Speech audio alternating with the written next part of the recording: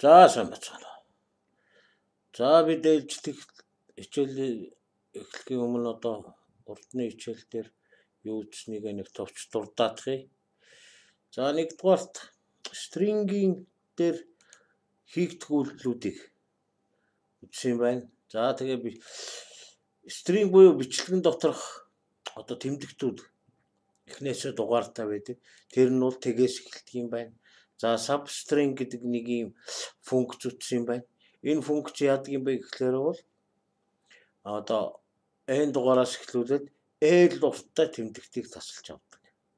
Ийм зүйлсийг үтсэн юм байна. За бас ганц нэг юм утсан санагдаж байна. За энэ юуны өмнө эхлээд энэ одоо энэ тухайн энэ сэдвт хамаагүй энэ хэсгийг ийшээ хуулаад бид комент буюу одоо зүгээр тэмдэглэгээ болгочих. Өөрөөр хэлбэл ажиллахгүй болгоно гэсэн үг шүү дээ. Тий яг хав энэ гэрэл асуучдад харах яг ч анхаарал сарних юм болов. За ингээд бид бас stream гэдэг ийм функц утсан юм байна. За функцийг бол мэдчихэж байгаа тийм үү? Тодорхой үйлдэл гүйцэтгэгч одоо зүйлсийг л одоо функц гэдэг шүү дээ. Одоо машинаар бол одоо араа залгахад машин хөдлөнө. Тийм үү? Араа залгаад одоо хаазан дээр гიშгэд одоо машин хөдлөнө гэж одоо ингэ хөдөлгөө хөдөлгөгч одоо гол одоо зүйлс юм да одоо. Тэрийг л одоо хэлээд байгаа шүү дээ. За машинаар бол одоо шин чанар гэдэг нь одоо яг? Машины марк одоо тэгээд л одоо юу босод одоо үзүүлэлтүүд тийм ээ гэх мэтлэн зүйлсүүд бол орно штэ. За ингээд байгаа. За ингээд trim гэдэг команд бол яах вэ гэхлээрэ тодорхой одоо бидний энэ жишээнд бол s1 гэдэг энэ string одоо дотор агуулгдсан өөрөөр хэлбэл энэ хувьсгчд байгаа одоо тэмдэгтүүдийн эхнийх болоод сүүлийн тэмдэгтүүд нь одоо хоосон цай. Бид ярьдаг тийм үү? Компьютерийн гарын одоо урт даралт space гэж ярьдаг тийм үү? Тэрийг л арилгах одоо зорилттой за. За дараа нь бол яг бас нэг шин чанар гарч ирж байна тийм үү? S1 гэдэг одоо хувьсгчийн Ланг гэдэг одоо шин чанар бол яах вэ гэхлээр энэ хідэн тэмдэгттэй байгаа гэл. Бид энэ жишээн дээр бол эхний хоёр ширхэг эхний тэмдэгтээс өөрөөр хэлбэл тэгдугаар тэмдэгтээс хоёр тэмдэгтийг тасалж авъя гэсэн юм байна. А хэрвээ одоо энэний тэмдэгтийн тоо хоёроос бага бол өөрөөр хэлбэл одоо else гэдэг одоо энэ хэсэг биелэх гэж штэ зүгээр л өөрт нь өгч.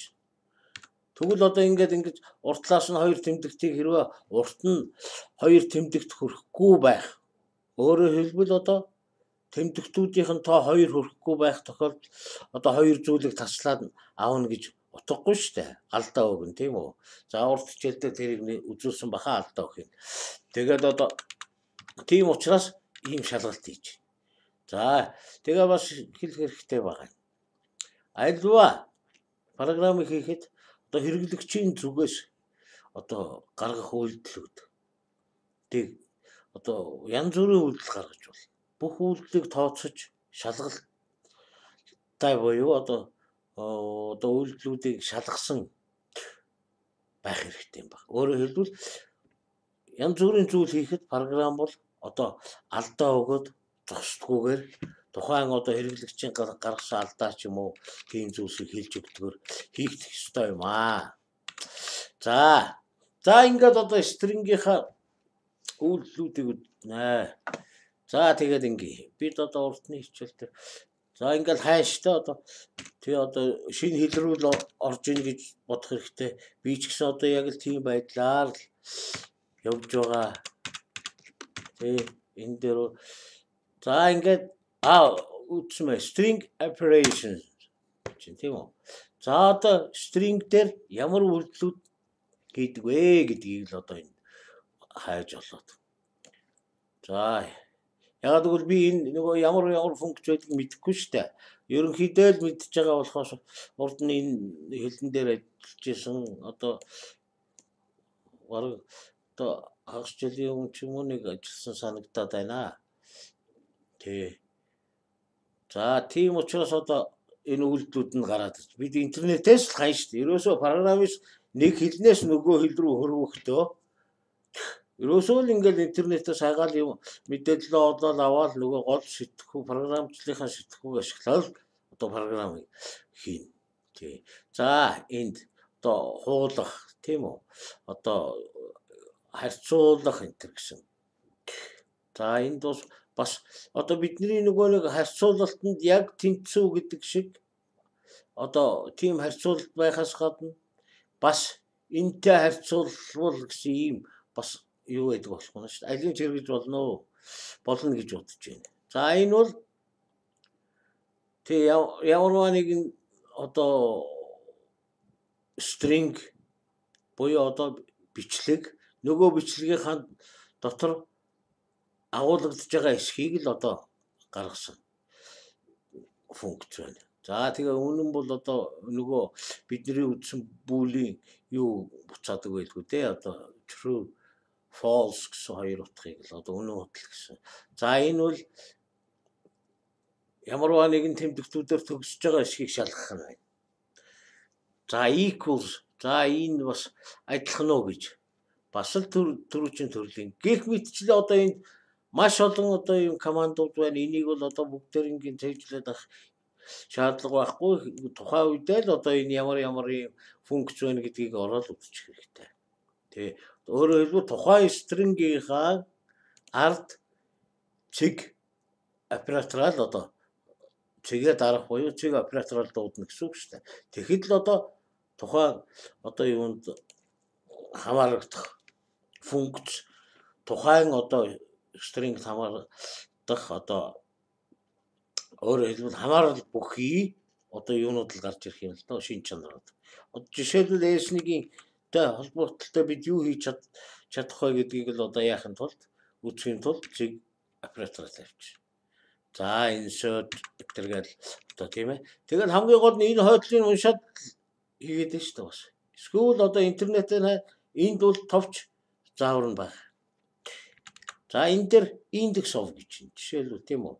За ингээд энэ дотор нэг одоо string дотор S1 string дотор бас нэг өөр стрингийг хайх нь л та. За энийг бид нэр хэрэглэнэ. За тэр энэ За ингээд тримтэй холбогдолтой юм үзсэн учраас а энд ингэж шүү. Тримээ бас үзэлт хий гэж бодоод байна л та. Trim ингэж байна. Trim end гэж байна. Энэ бол яг чинь одоо тухайн string буюу бичлэгийг одоо хамгийн сүүл байгаа хоосон зайнуудыг арилгах. Тийм үү? За trim start гэвэл Өө энэ L trim тийм байна яа харахгүй тийм байна. Trim start гэвэл тийм үү. Одоо тухайн бичлэгийн одоо өмнө байгаа хоосон цаануудаа ярьлаа. За энэ энэ бол чухал функц гэдгийг бол одоо бид нар урдны хичээл дээр үзсэн шүү дээ. Ягаад гэвэл одоо хоосон цай бол нүдэнд харагдахгүй учраас хоосон цай бол одоо тэмдэгч гэж үзээд одоо тэр тухайн стринг бичдэг учраас одоо алдаа гарах тохиолдол байдаг гэдгийг одоо урдны хичээл үзээ. Тий. За ингээд одоо бид бас энтэй зөвхөн тухайн бичлэгийн урд байгаа. Тийм үү? Trim а trim start. Trim and гэж. Ийм хоёр function бас байна гэдгийг л одоо юу яагаад авчлаа. Яг нь trim бол одоо өмнө байгаа хойно байгаа бүх хоосон цагийг л арилгадаг бол яг нь trim start гэдэг бол яг нь trim end гэдэг нь өмнө байгаа trim start нь зөвхөн өмнө байгаа хоосон зайнуудыг арилгах нь яг нь trim end гэдэг нь хойно байгаа. Одоо арт бичлэгийн хойно.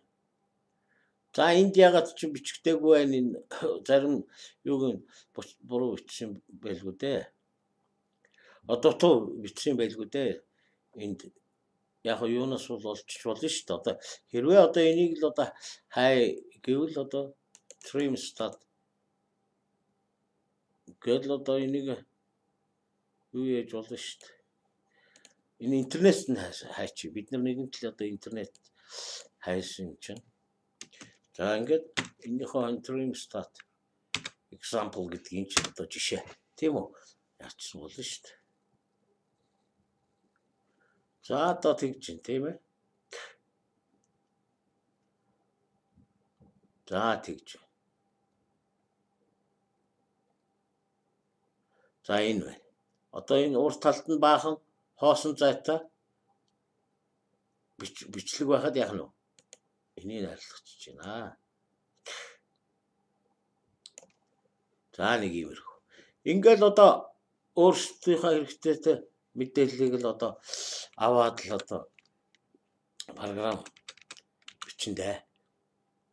За нэгдүгээр тийм trim гэдэг төрлийн юм бол ингээд дуусгах болох нэ. За substring бол яг одоо таслаа авдаг тийм үү? Бичлэгээс дид бичлэгийг тодорхой хэсгийг нь тасдаж авна гэсэн.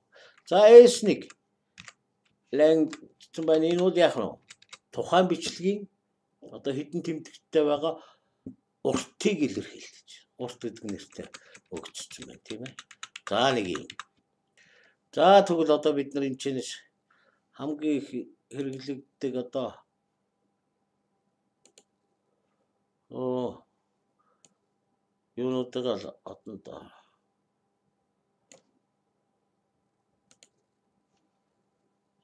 За ингээд. За ингэж байна. Энд бол бас ийм функцүүд байна. Жижиг бүх үсгийг том үсэг болгодог. Том үсгийг том үсгүүдийг тухайн бичлэгт байгаа том үсгүүдийг бүгдээрингийн жижиг болгох. За бүх үсгүүдийн том болгох энэ гэсэн функцүүд байна. За нөгөө бидний саяны урт гэсэн шин чанар энэ байна. Тийм үү? За replace гэсэн одоо энэ байна. Тодорхой бичлэгийг тодорхой тэмдэгтүүдээр солих. Тийм үү? За тэгээд индекс ов гэж байна. За энэ бол яг нь тодорхой бичлэгүүдийг хайж болох юм. Нэг бичлэгийн дотор орж байгаа хэсгийг одоо хайж олоод олох бичлэг байна. За энэ функцийг үзье ерөөс. За бидний хэдийг үзэн тэгээ бусдын бол одоо өөртөө л одоо туршинда хэрвээ болохгүй бол над руу хандж болно. Тэ ягаад гэвэл нэлээ их олон хүмүүс бас юм асуудаг бүгдээр нь бол хариулж одоохондоо амжиж л байна. За тэгэхээр нэг юм юм. За энэ ч одоо бидний програм чинь энд нэг нэг баахан бичлэг бичлэг оруулаад за хамаагүй. За энд нэг одоо юу яадаг юм уу та? За хамаагүй энэ дээрч өөрөнд нь эргүүлээд оруулсан ч яхаа өөр левел руу ч хийсэн болж байна. За энэ ингэж энэ чэнэс нэг лейбл тавьчих. За нэг юм зүйл хийж. За энд нэг үг оруулахлаар одоо түүний үйл үг оруулдаг ч юм уу. Түүний одоо өнгөрсөн цагийг гаргадаг. Тийм үү? За энийг програмд орох учраас LB good. За яах вэ гэд тавьчих. За эхний үед бол мэдээж энэ бол хоосон биш үү?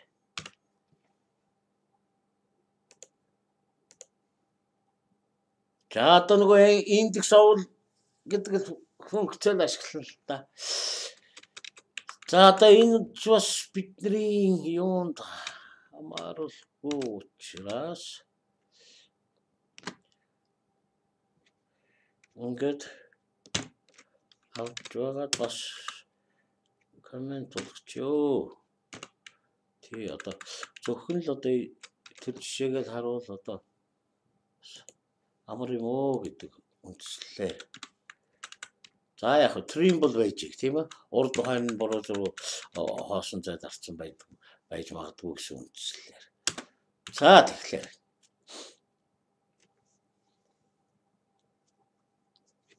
Угийн одоо өнгөрсөн цагийг одоо үйл үг ав гэд бичгэд л одоо авсан гэдэг л үг гаргахал тийм юм гэж байгаа. За тэгээд энд бол индекс of гэдэг функцийг ашиглая гэсэн. За хэрвээ одоо тэгвэл үчиж. Тэгвэл бидний үтсэн. Хэрвээ одоо S1-д хадгалаад урд хойдлынхын зайг авсан байгаа шүү дээ. За тэгээ эргээд S1 рүүгээ хийсэн байгаа. Хэрвээ S1 За одоо ингээ индекс ов гэхлээр тэр юуныхын заавар нь гарах учраас би тэр урдлын одоо энэ интернетийн юунаас нэг хайхтар үтсэнгүй шүү дээ. За индекс ов. За бүхэлдээ буцаана гэж юм тийм үү? Одоо энэ буцаах хэсэг нь энд байна шүү дээ. Альва функц бол утга буцааж болно. А гаднаас яах нь? Юу авч болно? утга одоо авч болно. Түүний параметр гэж нэрлэдэг тийм ээ математик. За, index of За за энд бол тэгээс одоо их эхэлдэг гэсэн баг тийм үү. За ингэж бид нар хэрвээ энд одоо Монгол аавшиг. Оо. жижиг а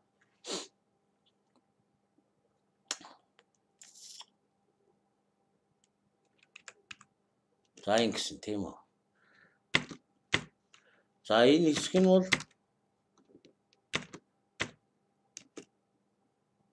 тэг буй. За энийг би одоо тайлбарлана бол дараачих нь. Тэнд бол zero based гэсэн байсан учраас бол би ингэж ойлголоо л доо. Энэ индекс of гэдэг функц бол хэрвээ одоо хайгаад энэ энэ өөрийнх нь дотор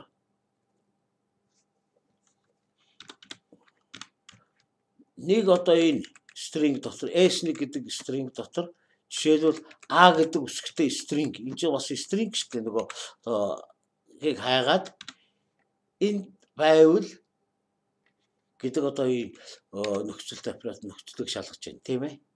За тэгвэл яах вэ гэхлээр бид S2 тэнцүү За одоо ингэ их ойлгомжтой болж эхэлнэ. S1 дээрээ сан гэдэг одоо стрингийг залгана. Өөрөөр хэлбэл сан гэдэг дагаврыг залгах гэж үйл үг байна гэсэн шүү дээ. Үйл үг чинь тохиолдол гэсэн. За. Үгүй бол За энд одоо бидний нэлээд олон тохиолдлыг бол одоо гаргая гэж бодсон юм байна. За тэгэхээр хэрвээ үгүй бол за эхний үед ингэ өччих. Ерөөс үгүй бол өөрийн гаргадаг. Тийм зүйлий. Зүгээр л өөрийн сан гэхгүй. Хэрвээ одоо за ингээд ягаад вэ бол одоо энийг л тайлбарлах гэдэг юм л та би.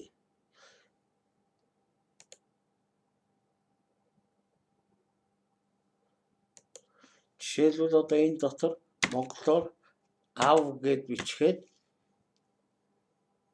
одоо А үсгтэй учраас сан дагуур залгаж одоо өнгөрсөн цагт оролдог штэ. Тийм үү? Ав сан гэж гарч ирэх гэдэг. Тий. Одоо тэгээд энд чи бидний хөдөлгөг юм хийж байгаа энд чи одоо юун ч байхгүй. Том жижиг үсгээр бичсэн бол одоо жишээлбэл одоо энэ дээр томоор биччихвэл за энэ дахиад эхлүүлэхгүй болохгүй. Хэрвээ томоор бичсэн бол энэ шалгаж чадахгүй байх. Ав ав гэдэг. Ягаад гэвэл өөрийг гаргаад ирж чинь тийм үү? Өөрөөр хэлбэл нөгөө тохиолдлоор А гэдэг олсонгүй том А өөр учраас жижиг А том А хоёр өөр тэмдэгтүүд шүү дээ. Тийм учраас яах нь авч чадсангүй. За гэтэл одоо энэ дээр ийм утга шүү дээ. Индекс ов гэдэг бол одоо яадаг юм бэ гэхлээр энийг юу ч гэсэн нэг бас нэг томьёолчод цаашаа явуул зүгээр бахаа гэж бодож. За энэ дотор индекс одоо өөр S 8 оо S одоо S N гэдэг юм уу. S N гэдэг одоо юу хайл та. Оо энэ юм одоо өнгө нь өөрчлөгдөв. За инги. Одоо SA гэдэг string дотроос SN гэдгийг одоо индекс ов гэдэг функцээр хайвал за энэ одоо жаахан том болохгүй харагдахгүй гэж боддог юм аа. За энэ маань юу гэсэн үг вэ гэхээр SA гэдэг бичлэгт бичлэгт S N бичлэгийг өөрөөр хэлбэл одоо энэ ховсгчд байгаа бичлэг гэсэн үг шүү дээ одоо. Өөрөөр хэлбэл одоо энэ заавал тэгж бичсэн бүл дээ ойлгомжтой болов гэж бодоод. ЭСА ховсгчийн одоо бичлэгт тийм үү. ЭСН ховсгчийн бичлэгийг гисэн ч болохоор гандам ялч. За яах вэ? Эхний үед явсан учраас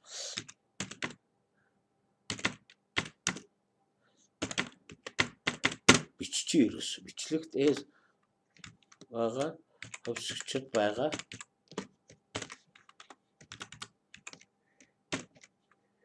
бичлэгийг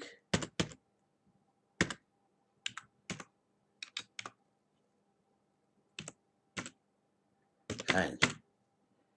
За ингээд. Хэрв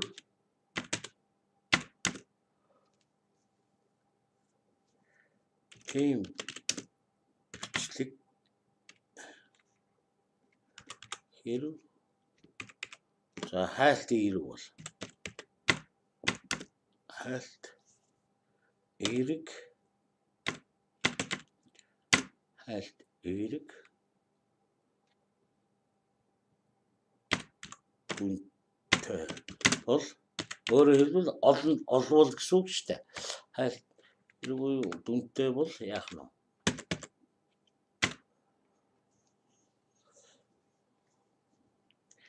дүнтэй бол ол сон ой чи яа сектор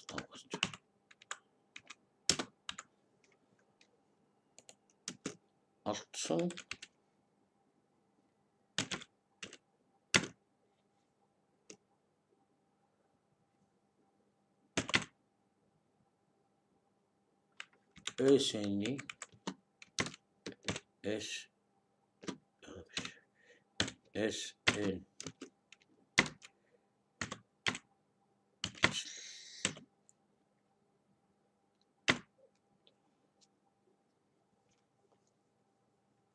SN бичлэг олдсон гэвэл хараа жоохон. Утга зүгээр. S бол SN бичлэг олдсон дугаарыг. За энэ одоо ойлгомжтой болно.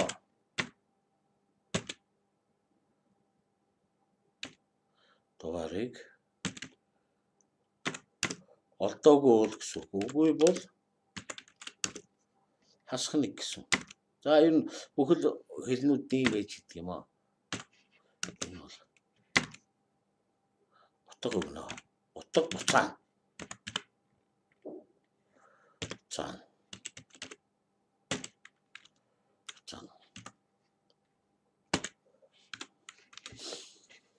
За энэ юу гэсэн үг болчих вэ гэхээр хэрвээ одоо ингэх нь биш та одоо үзэл та одоо S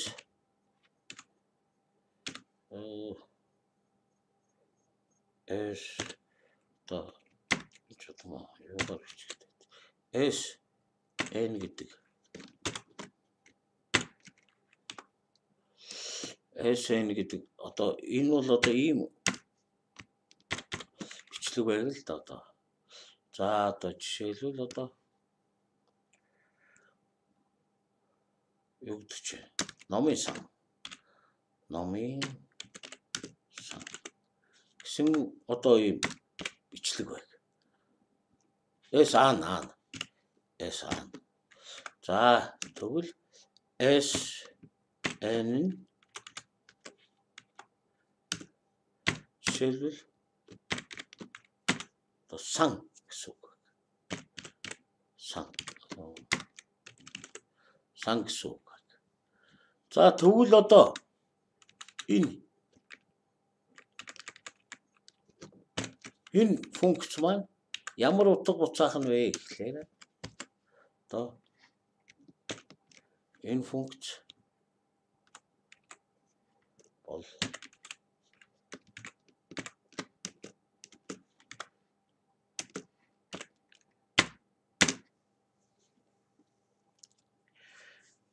яах нь за одоо энэ SA дотор яах нь SN гэдэг энэ юу хайна штэ Нь сан гэсэн энэ дотор номын сан за тэгэхээр хайгаад одоо сан гэдэг энэ үг вэ штэ олдсон тохиолдолд яах нь одоо үр дүнтэй бол бичлэг олдсон дугаар гэж байна. Энэ сан олдсон дугаар. За ингэн штэ одоо хамгийн ихний үсэг бол тэгээр эхэлнэ. Тэг 1 2 3 4 5 6 гэдэг утгыг өгнө шүү дээ. 6 гэдэг утга буцаана. Өөрөөр хэлбэл одоо олдсон үний эрэхтэй бол яг та ингэ томьёолж байгаа болохоос бол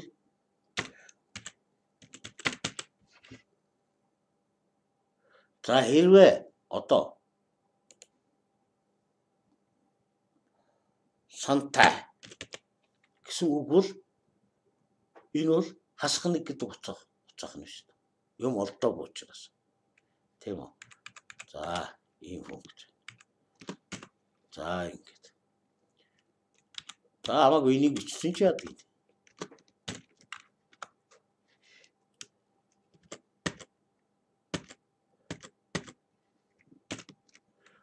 За сан тай.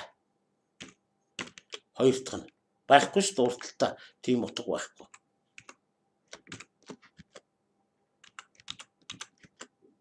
Оо тооч.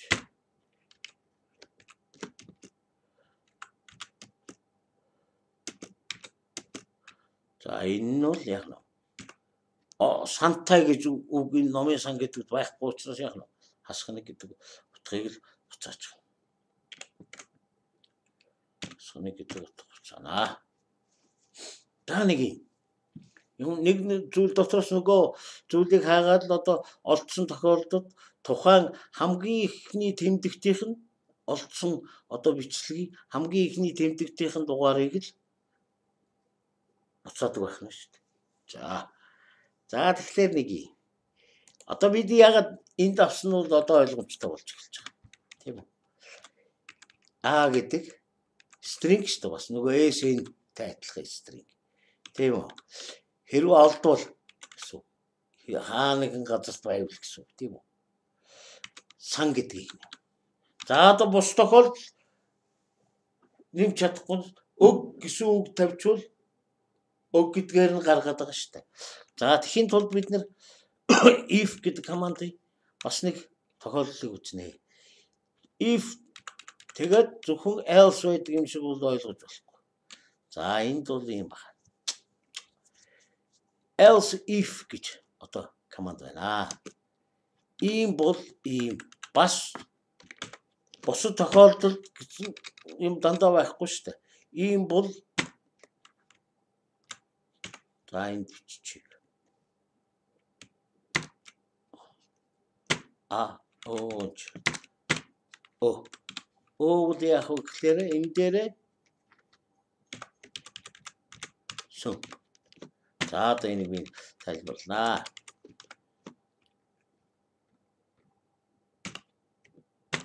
өгсөн. Оо байгаа. За энэ хэсгийг тайлбарлая. Аа нөгөө S1-ийг алхачих.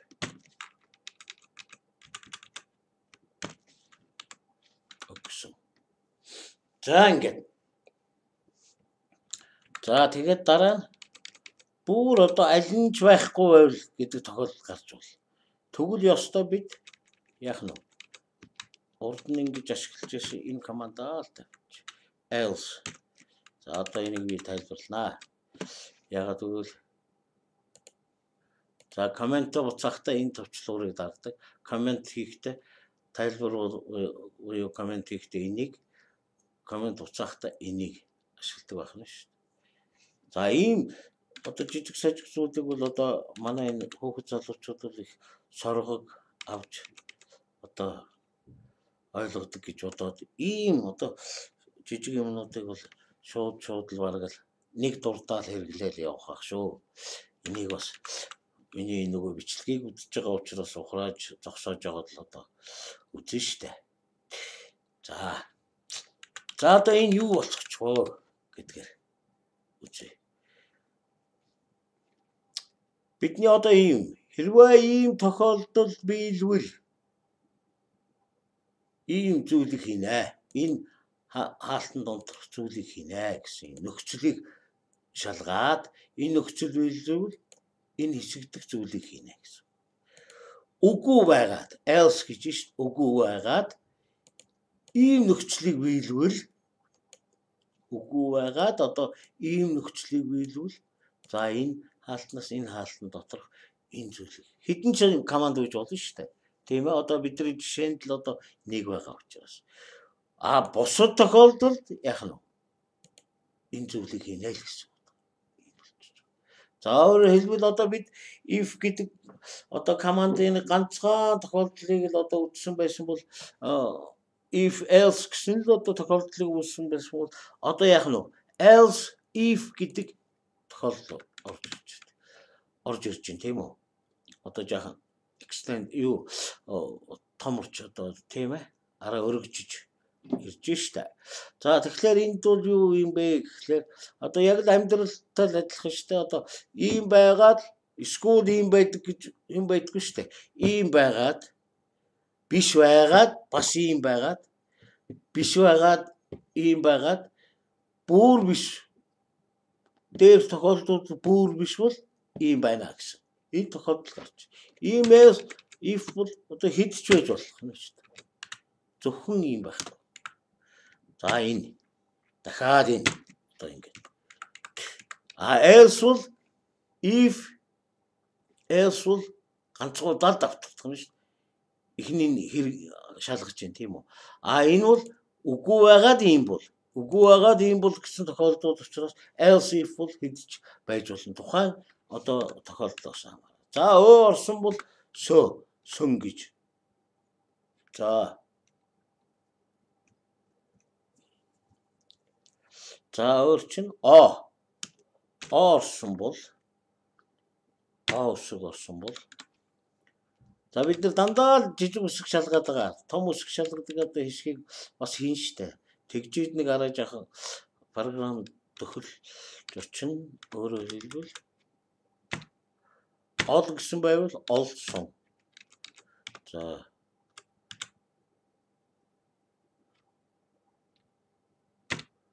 Үүтэй бол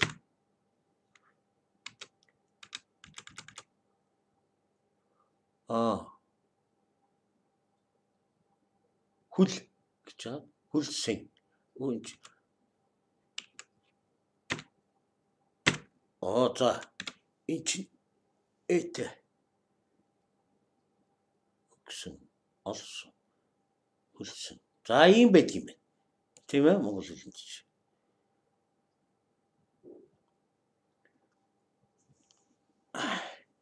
За. За тэгэхээр одоо бол энэ ийм үг болж штэ. Одоо бидний хийх л зүйлээд одоо програмд л одоо командор зааж өгч байгаа штэ. Ийм бол ийм. За эхлээд одоо тухайн S1 гэдэг одоо string дотор А гэсэн үсэг байвал өөрөөр хэлбэл одоо буцааж байгаа дүн нь тийм үү? Тэгээс их буюу тэнцүү байх тохиолдол. Өөрөөр хэлбэл одоо яасан? Олдж гинэ гэсэн үг тийм үү? Олдсон тохиолдолд сан. За тэгээд өө үсэг олдсон тохиолдолд сүм. А үсэг тохиолдсон сон. За тэгээ үу үсэг тохиолдол эн гэдэг дагавар залах. За. За энийгээ товшаад өгч. За ол ол гэсэн бол олсон. За одоо өөр чинь хүл гэвэл хүлцсэн. За олсон За тэгвэл одоо бас энэ хэл гэвэл яг нь хэлсэн. Хөрхи энэ энэ тохиолдлыг э тавиагүй багтаа гэж. Оо гэсэн олсон.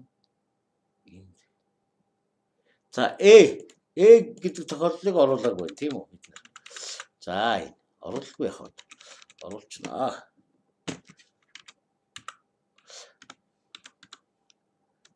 За бид. Баа энэ гэдгийг бол одоо цааш ярих учраас одоохондоо. Уг нь энэ энтэй адилхан сэн залгаж байгаа учраас энтэй цуг хийчих болох юм байгаа. Бид тэгтээ баа энтрийг үзээгүй. Тэ. Ингээд л орхисон учраас одоо тэр бүлийн нөө хойсгчдэр хийх төлөвлөлийг үзээгүй учраас яах нь. Одоохондоо бол яах нь тусгай тохиолдол болгоо хийчих. А ийм байгаад ийм байна гэсэн тохиолдол энэ хоёрт ганцхан сэн гэдэг залгадах учраас нэг тохиолдол болгоч боломж бол биднэрт бий. Гэхдээ одоо тэрийг араа хараах үзээгүй учраас яг ингээл хоёр болгоч. За. За одоо энэ хэл хэл тэгээд хэлсэн. За өөрөөр хэлбэл хүл гэвэл хүлсэн. За ингээ болж байна тийм үү. За гэтэл бид нар энэ түрүү дурдсан одоо энэ энэ том өсөг байж гэж бод. Хүл. Энэ тохиолдол яах нь өнгөрсөн цагийг ялгаж чадахгүй. Ягаад гэвэл том жижиг хоёр үсэг бол ялгаатай учраас бол тэрийг олж чадаагүй чадахгүй байна. За энийг түрүү хальт утсан хилээд явсан энд to up to low гэдэг энэ хоёр командыг ашиглаж болох юм шүү дээ. Өөрөөр хэлбэл одоо жижигрүүлчин томруулчин гэсэн үг. За ингэж жижиг үсгээр явцсан юм чинь ингэ чи. Энийг одоо хоосон заавалгоод аваад одоо S1-ийг дахиад ингэж S S1 юу хийгээд S1 рүүгээ хийх юм бэ гэхлээр S1-ийг жижиг болгох. Жижиг дандаа жижиг үсэг болгоч. 2 оо энэ дээр харагдуусаа. А ийм болгоч. Ийм болгоч. Яг гэхэл том өсгөнүүдийг яг нь дандаа жижиг өсгөх болгоч. Одоо бол програм зөв ажил. Өөрөөр хэлбэл одоо яг нь ямар ч том өсөг байсан бүгдээрээ жижиг болгочоод жижигхэн а өө оо энэ тэрийг хайж байгаа учраас яг нь олох боломжтой болж байна гэсэн үг шүү дээ. За одоо харъя. За түрүү ингэжсэн. Хэн байгаа үүтэй хүл гэсэн бол яа. Хүлсэн. Аа хариу хариу. За ингээд. За жишээлбэл одоо ингэж болно. Оо ингээл хүн одоо буруу зуруу ингээл том жижигээр бичин штэ. Тий, тийм тохиолдолд бас ажиллана гэсэн үг дээ. Хэл гэсэн бол хэлсэн гэдэл одоо жижигээр. За гэтэл одоо энэ бид л одоо ингээл голдуу одоо эхний үсгийн томор бичиж болно шүү дээ. Нэрийн тэр. За тийм шаардлага гарвал яах вэ гэдэг одоо асуудал. Арай жоохон өшөө боловсронгуй болгоё гэдэг. За тэгвэл байна шүү дээ. Одоо энэ S2-ыг За эднийг бол бид нэр уг нь энийг шалгалтыгаа авсан байгаа шүү дээ. Одоо энэ бол их буруу юм байгаа шүү дээ. Одоо яах? Ийм үед бол энэ програмыг явуулах хэрэгтэй юм байгаа үг. Урт нь нэг буюу түүнээс их байвал гэж. Өөрөөр хэлбэл тодорхой хоосон биш байвал одоо дараа чинь дараах зүйлс хийн шүү дээ урдны хичээл дээр үтсэн тийм ээ. Тийм шалгалтаа бол төр зур комент болгоцсон байгаа. Одоо тэрийг оруулъя. Бас нэг арай жаахан боловсронгуй зүйл болгож байгаа л да. Одоо бас нэг шалгалт нэмж штэ. Тий хоосон одоо юм оруулсан урт нь юм дээр бол одоо юу хийх вэ те. За бүр одоо тэгвэл энэ хоёр ч орно тийм үү? Энэ хоёр орно шүү. Энэ доошоо орч. Ингээд яах нь? Хоосон зайлуудыг арилгаад жижиг өсөг болгоод ингээд одоо бусад зүйлсээ хийнэ гэдэг утгаараа. За ийм шалгалт За программист бол ийм юмнуудыг заавал гарцаагүй тавьж явах хэрэгтэй юм шүү. За ингээд. За тэгээд бол бас энэ ч бас орно. Одоо үзүүл. Хоосон бол юу үзүүлэх үзүүлэх юм байхгүй юм. Тийм ээ. За ингээд. За би ингээд ингээд байсан ч болно ингээд яг одоо нэг та бүхэнд л уншихад эвтэйхэн болгохын тулд ингээд юу дараа нэг мөр энэ алгасаад л одоо уншихад эвтэйхэн болгох юм. Бас ингээд энэ хэсэг нь лог утгатай гэж л ингэж байгаа шүү дээ. Яаж чүтсэн араас нь хэрвээ тэг тасалтай бол араас нь нэг мөр болгооч чүтсэн болох боломжтой. За. За одоо А эхний үсгийн юу яа гэсэн шүү дээ. Одоо том болгоё гэж. Тэ жижигхэн болгоод томор үтцсэн юм энэ тэрийг жаахан тааруу гаргаад шүү дээ. Өдөрчтэй бол өөрөөр хэлбэл одоо нэр мөрний одоо эхний үсгийг том томоор гаргая гэвэл. За тэгвэл байна шүү дээ. За нэгэнт л одоо нэг буюу түүнээс олон тэмдэгтэй гэсэн учраас бид нар бол одоо ингэж шалгацсан учраас айх юмгүй эндээ юу яа. За S2 бол одоо юу яатсан байгаа шүү дээ. Сан сөн энтергээд нөгөө нэг өнгөрсөн тоонд оруулах дагавруудыг нь бол залгацсан байгаа. S2-тоо юу хийх вэ гэхлээр? S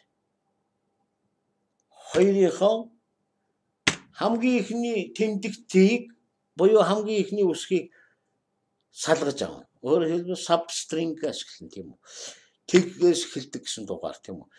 Хамгийн ихнийх дугаар тэг тэг дугаараас эхлээд яг нь хэдэн тэмдэгтийг салгаж нэг тэмдэгтийг салгаж аваад дээр нь яг вэ гэхлээр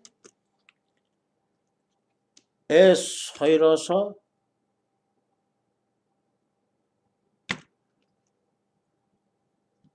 substring заавал энэ дээр чинь бас нэг start index retrieve substring from this instance. So а болох юм байна. Энэ бас нэг хувьсгч параметртэй хоёр хувьсгчтай байж болдгийм байх шүү. Тийм ээ. Тий. За ингээд одоо substring За эхний тэмдэгт бол тэг дугаар их. За хоёр дахь тэмдэгт бол нэг дугаар их тийм үү? Нэгээс ингээд авчихлаар байна шүү дээ. Энэ substring бол заавал хоёр дахь параметрыг өгөөгүй бол яах нь вэ? Шууд тухайн дугаараас хойш бүх тэмдэгтийг салгачдаг байх юм байна. За энд бид нэр тэрийг бичээгүй байгаа шүү дээ. Энэ. За ийм байж болох нь шүү дээ. Хэрвээ одоо ийм байвал бас ийм тохиолдол бидэрт гарч ирж байна тийм үү? N гэдэг тавьсан. N дугаар тэмдэгтээс төгсгөл хүртэл одоо аргаш аргаш гिचэд аргаш ардах ч гэсэн болно тийм үү бүх тэмдэгтийг бүх тэмдэгтийг таслаавна өөрөөр хэлбэл одоо хоёрдугаар хоёрдугаар параметр өгдөөгүй байсан бол хойтлынхан бүх тэмдэгтийг л авна гэсэн биш. Энэ substring гэдэг функцон ийм хоёр одоо зүйлийг хоёр төрлийн байдлаар хэрэглэгддэг одоо ийм онцлогтой функц байх юм шүү дээ. Нэгч хоёр ч ийм параметртай байж болох функц байна. Тийм үү? Нэгч параметртай байж болох. За дараа. За одоо энэ яах суудагтай. Тэг дугаараас өөрөөр хэлбэл хамгийн ихний дугаараас нэг тэмдэгтийг таслаад тийм үү? Дараа нь яах нь үлдсэн. За энийг мэдээж одоо яах вэ? To ой Монгол руу to up гэжсэн баха. За энэ байна. Тийм. Тийм үү? Тий. Uppercase болгосон. Одоо өөрөөр хэлбэл том үсэг болгосон хэлбэр нь. Эхний тэмдэгтийг тасалж аваад to up. Том болголоо. Дараа нь хойноос нь нэмэх тэмдэг маань нэг стрингийн дараа нөгөө стрингийг залгана гэсэн.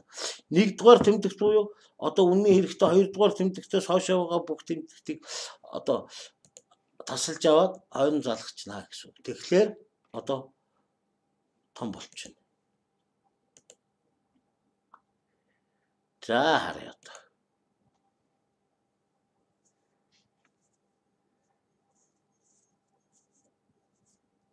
Тэр хэл өөх. За ингээд том багаар биччихлээ. Нэг нөхөр одоо эр хэлсэн. Тэргээд одоо одоо эрхэл эрхэл. За тэгвэл яах нь вэ? эрхэлсэн гэд эхний зөвхөн үсгийг том болгоод ингэ. А энэ дээр бол хийвгүй гарчлаа тийм үү хамаагүй.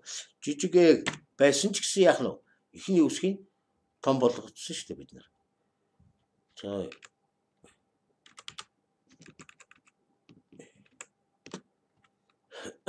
За энэ одоо энэ дүн гардаг учраас за энэ дахиад гарч шít одоо тий. Тэгтээ яг одоо энэ энийг үсчээд өөр жишээ болгоч хэлсэн болгочоод одоо энэ хойно хэлсэн. Ийм тохиолдолд одоо ингээд том жижигээр бичсэн байвал яах нь вэ? Олон боломжтой байх нь шүү дээ. Эр хэлсэн гэд эхний үсгийн доо. Жишээлбэл одоо ямар ч нэр оруулсан одоо юу яа эхний үсгийн том болгоё гэвэл яах нь вэ? Маш амарханаар хийх юм шүү дээ.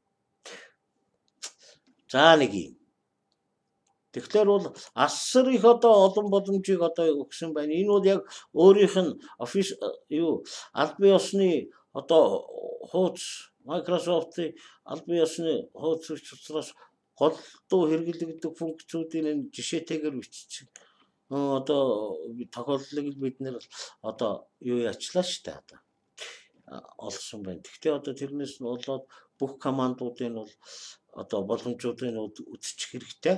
Бид бол одоо яах вэ гэхээр index of substring to up одоо гэх мэтлэн одоо командуудыг үзлээ шүү дээ одоо. За ингээд. За ингээд маш их олон боломжтой шүү.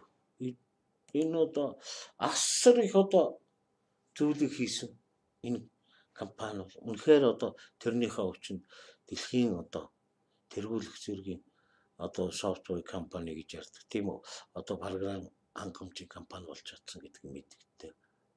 Асар том яаж одоо дэлхийн програмчлалын хөгжилд асар их том яасан Windows гэдэг одоо үйлдвэрлэлийн системийг хийсэн. DOS гэдэг MS DOS гэдгийг анх одоо Bill Gates гэдэг хүн маань анх одоо Осло одоо өөрийнх нь компаниар нэг наачтайгаа нийлж одоо хийсэн. Тийм л байгаа. Асар их боломжтой. За одоо юу одоо залуучууд асууж байна. Одоо Python гэдэг хэл одоо одоо их дэлгэрч ийн гэж гадуур бичиж байна. Үнэн үнэн тэр тэр бол одоо тэгтээ юм биш та одоо нэг юм юм байгаамаа. Бидний болон одоо энэ одоо энэ дэлхий дээрх програмын ихэнх нь одоо энэ C# гэдэг хэлэн дээр бичигдсэн байгаа учраас энийг заавал байх ёстой тэр програмыг хөгжүүлэх шаардлага гардаг байхгүй нэгдүгээр. Хоёрдугаар энэ хэлнээс тэр хэл рүү орох маш амарх. Одоо жишээлбэл би C++ гэдэг одоо хэлэн дээр одоо юм хийжсэн аа. Одоо та бүхэн хичээл заахын тулд шал өөр C# гэдэг хэлийг л одоо үзээд л одоо тэгэл ингээл интернетээс хагаад наануу цаануу болгоод одоо ингээд л явчихдаг. Тий. Тийм учраас та бүхэн санаа зовхон байхгүй бид энэ юг дуусчаад SQL server одоо юу гэх юм байгаа юм. Access Center гэсэн одоо ийм өгдлийн санг үтчээ дараа нь Python гэдэг хэл рүү орно. Тий.